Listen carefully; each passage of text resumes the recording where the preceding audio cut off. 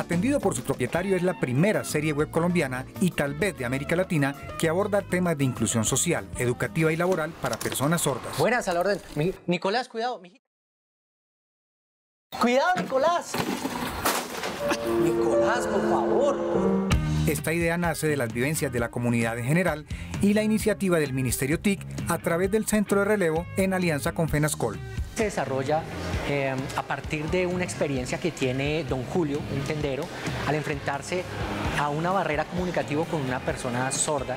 En este caso, eh, a partir de este momento se desarrollan otras situaciones con diferentes personas en situación de discapacidad. En el país son más de 455 mil personas con discapacidad auditiva. Siquiera le he preguntado a su merced, ¿está bien? ¿No escucha?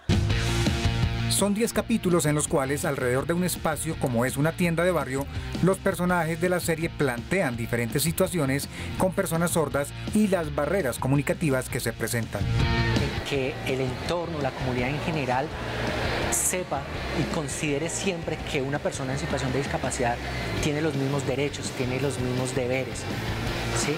y que finalmente la limitación no está en la persona, sino en el entorno. Mire, yo le traje a Dani porque Dani nos, pues Dani tiene una hermana sorda y ella nos va a explicar todo sobre los sordomudos. Sordomudos no, Sebas, sordos. Tenemos que empezar a hablar las cosas como son, o si no, van a quedar como un zapato. Por último, los invitamos a seguirnos en nuestras redes sociales del Centro de Relevo para que cada miércoles puedan ver los capítulos de Atendido por su propietario.